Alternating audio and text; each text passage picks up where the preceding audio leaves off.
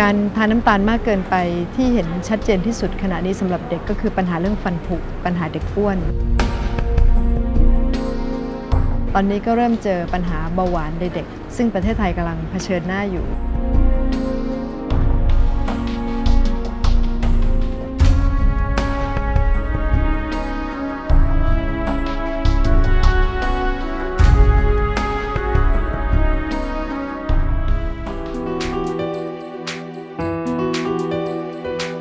ผ่านไปแล้วกับเมื่อวาน 14 พฤศจิกายนของทุกปี ซึ่งเป็นวันเบาหวานโลก คนส่วนใหญ่มักคุ้นกับคำว่าเบาหวาน แต่หลายคนก็ไม่รู้ความหมายที่แท้จริง ว่าเบาหวานคืออะไร โรคเบาหวาน เป็นภาวะที่ร่างกายไม่สามารถนำน้ำตาลไปใช้เป็นพลังงานได้ตามปกติ และสถิติคนไทยก็เป็นโรคนี้เพิ่มมากขึ้นในทุกปี ด้วยวิธีการกินในยุคแห่งสังคมข่าวสาร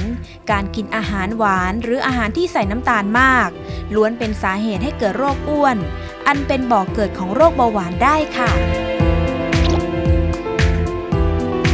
ถ้าดูจากภาพรวมของประเทศไทยเนี่ยนะคะ ค่าเฉลี่ยของคนไทยที่กินน้ำตาลเนี่ยจะตกประมาณ 29 กิโลกรัมต่อคนต่อปี ถ้าถ้าดูเทียบกับที่ทางองค์การอนามัยโลกแนะนำให้เราบริโภคน้ำตาลเนี่ยนะคะ เฉลี่ยแล้วคนหนึ่งเนี่ยควรจะ ทานไม่เกิน 10 กิโลต่อคนต่อปี ซึ่งซึ่งก็หมายความว่าตอนนี้เนี่ยพวกเราทานน้ำตาลมากกว่าที่ควรจะเป็นประมาณเกือบ 3 เท่า เป็นที่น่าห่วงว่าเด็กไทยกำลังเผชิญกับภาวะกินหวานเกินโดยไม่รู้ตัว โดยเฉพาะเครื่องดื่มจำพวกน้ำอัดลม น้ำหวาน หรือของหวานทั่วไป ที่มีปริมาณน้ำตาลสูงแล้ว ก็ยิ่งชวนให้เด็กๆริมรสด้วยความอร็ดอร่อย ของหวานกับเด็กๆ จึงดูเป็นของคู่กันอย่างแยกไม่ออก แต่ภัยร้ายที่แฝงมากับของหวานเหล่านี้นำมาซึ่งปัญหาสุขภาพที่น่ากลัวหลายประการ การทานน้ำตาลมากเกินไปที่เห็นชัดเจนที่สุดขณะนี้สำหรับเด็กก็คือปัญหาเรื่องฟันผุเพราะว่าเด็กไทยเนี่ยมีฟันผุเยอะมาก สาเหตุหลักๆเนี่ยมักจะมาจากเรื่องของการดูดนมขวดที่ข้างในมีน้ำตาลอยู่ ทีนี้ด้านสุขภาพอย่างอื่นเนี่ยที่สำคัญก็คือปัญหาเด็กอ้วน ซึ่งตอนนี้ประเทศไทยกำลังเผชิญหน้าอยู่ เราเรามีสถิติว่าเรามีเด็กอ้วนเพิ่มขึ้นมากขึ้นทุกปีนะคะเพราะฉะนั้นเนี่ยการกินน้ำตาลมากเกินไป เป็นปัญหาต่อสุขภาพ นอกเหนือไปจากเรื่องอื่นๆที่มีการพูดถึงกัน เช่นว่า ตอนนี้ก็เริ่มเจอปัญหาเบาหวานในเด็ก ที่แต่ก่อนนี้เราก็ไม่เคยนึกว่าจะมีปัญหาแบบนี้เกิดขึ้น การจำกัดการบริโภคน้ำตาลจึงจำเป็นที่จะต้องเริ่มตั้งแต่วันนี้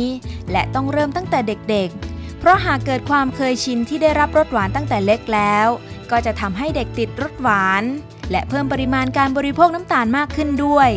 ทั้งน้ำตาลที่มาจากขนมหวาน เครื่องดื่ม หรือจากน้ำตาลโดยตรง โดยเฉพาะกับเครื่องดื่มยอดฮิตอย่างน้ำอัดลม ที่พบว่ามีปริมาณน้ำตาลถึง 13 ช้อนชาใน 1 กระป๋อง ซึ่งเกินกว่าคำแนะนำจากนักวิชาการเครือข่ายเด็กไทยไม่กินหวาน ที่แนะนำให้บริโภคน้ำตาลไม่เกิน 6 ช้อนชาต่อวัน ดังนั้น หากไม่ต้องการให้ลูกหลานเป็นโรคอ้วน หรือโรคเรื้อรังต่างๆ ผู้ปกครองจึงควรส่งเสริมให้เด็กๆ ทานผักผลไม้ที่ไม่หวานมาก และดื่มนมจืดหรือน้ำเปล่าแทนน้ำอัดลมค่ะ สำหรับผู้ปกครองที่มีลูกเล็กๆนะคะหมอจะแนะนำอย่างซีเรียสเลยว่าไม่ควรจะเลือกนมที่มีน้ำตาลให้กับเด็กๆนะคะ อันที่สองก็คือว่าบรรยากาศในบ้านนี่สำคัญ ถ้าเผื่อว่าคุณพ่อคุณแม่ซื้อน้ำอัดลม ซื้อน้ำหวาน ซื้อขนม ตุนเอาไว้เต็มตู้เย็น เต็มตู้เลยเนี่ยนะคะ ก็เป็นธรรมดามากเด็กเขาเดินผ่านเขาก็จะกินหยิบกินได้ตลอดเวลา เพราะนั้นคุณแม่ก็ควรจะเศรษฐกิจพอเพียง คือซื้อไว้แต่พอประมาณอย่า อย่าซื้อไว้เยอะเกินไปที่จะทำให้ลูกๆเนี่ยหยิบหยิบทานได้ตลอดเวลานะคะการลดความหวานและเพิ่มความสุขด้วยการทานอาหารให้ถูกหลักโภชนาการ มันออกกำลังกายควบคู่ไปพร้อมกับการตรวจเช็คสุขภาพ ไม่เพียงแต่จะสร้างความแข็งแรงให้กับร่างกายแล้ว ยังส่งผลต่อสุขภาวะมวลรวม ด้านสุขภาพให้กับคนไทยด้วย สมดังพุทธสุภาษิตที่ว่า อโรคยา ปรมาลาภา ความไม่มีโรคเป็นลาบอันประเสริฐจริงไหมคะ